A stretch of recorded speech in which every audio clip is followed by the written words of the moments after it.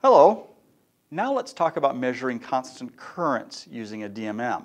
A device to measure current is called an ammeter. Most, but not all DMMs provide ammeter functionality. One inconvenient thing about measuring current is that we usually have to modify the circuit itself when we make the measurement. When measuring current, all the current that is to be measured must pass through the DMM. Therefore, when connecting the DMM as an ammeter, we usually have to break open the circuit and connect the DMM leads to the new terminals we've created. Another sort of odd thing about current measurement is that most DMMs have several different settings which can be used to measure current. We'll discuss this more at the end of the video once we have experience with just basic current measurement.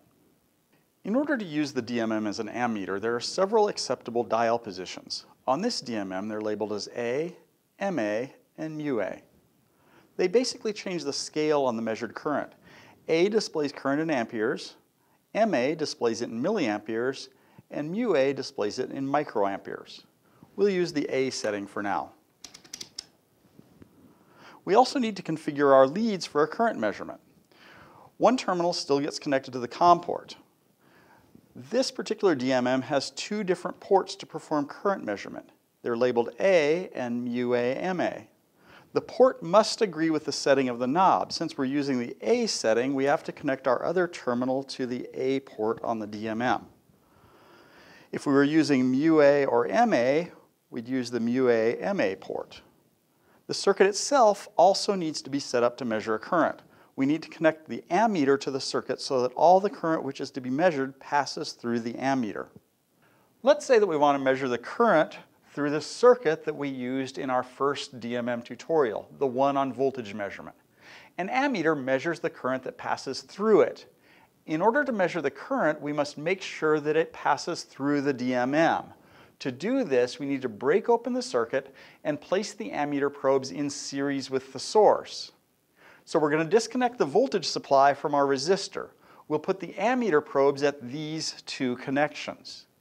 Now we need to talk a little bit about the sign associated with current direction.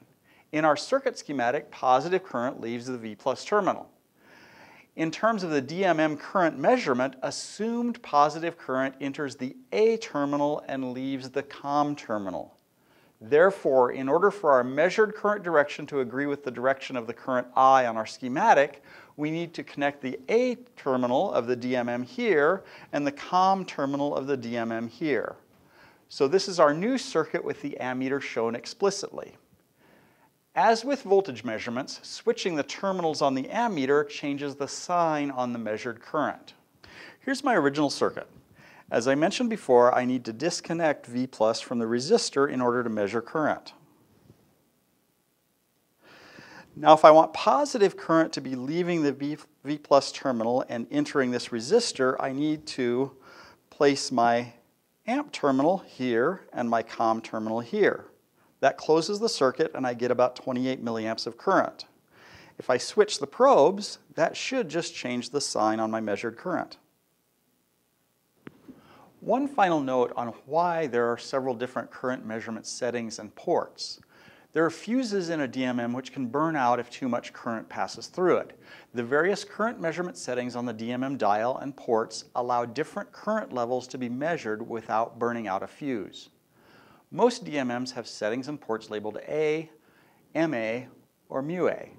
As we've mentioned before, the setting on the dial must agree with the port into which the lead is plugged. The A port and setting allow the highest current levels but provide the least sensitivity. Currents in the milliampere, thousandths of an ampere range, will tend to simply show up as zero. The MA and MUA ports provide greater sensitivity, they allow us to accurately measure relatively small currents, but they have fuses which will easily burn out at higher current levels. Burnout fuses can be replaced, but in order to avoid this, it is a good practice to first make your current measurement with the higher current setting. If this setting indicates a very low current, then switch to one of the lower current settings.